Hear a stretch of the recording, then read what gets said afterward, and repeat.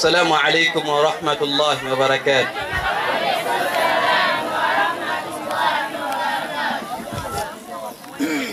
أعوذ بالله من الشيطان الرجيم. للفقراء المهاجرين الذين أخرجوا من ديارهم وأموالهم يبتغون فضلا من الله.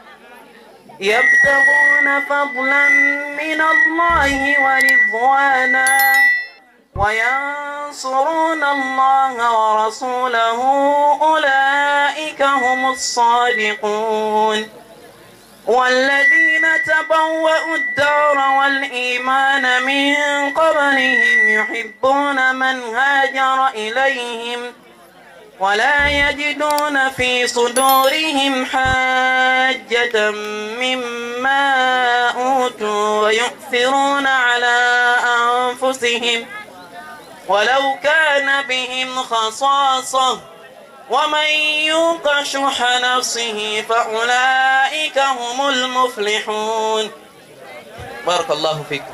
السلام عليكم.